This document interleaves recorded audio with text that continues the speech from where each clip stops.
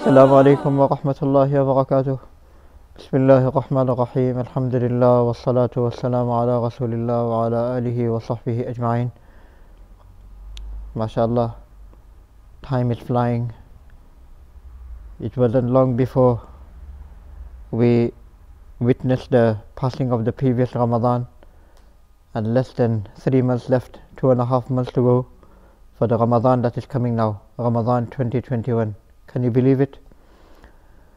Subhanallah, the pious people, six months after Ramadan, five and a half months after Ramadan, they used to be upset that why did Ramadan have to finish?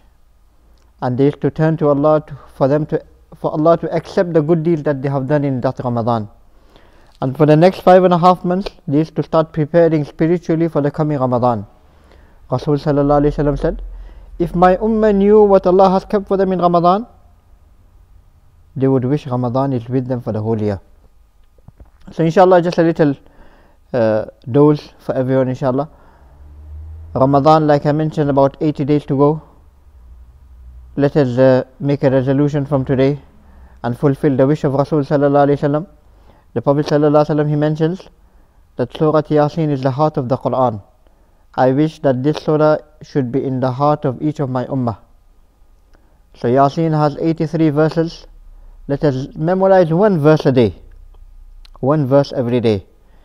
And inshallah fulfill the wish of Rasulullah and get the heart of the Quran into our hearts by Ramadan.